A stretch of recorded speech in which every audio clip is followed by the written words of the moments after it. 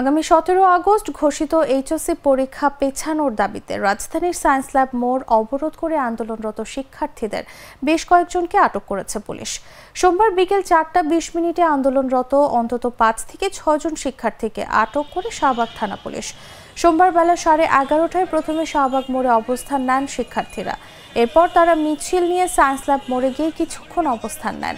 পরে সেখান থেকে নীলক্ষেত মোড়ে গিয়ে অবস্থান নিয়ে দুপুরে আবার সায়েন্স ল্যাব মোড়ে অবস্থান নেন শিক্ষার্থীরা।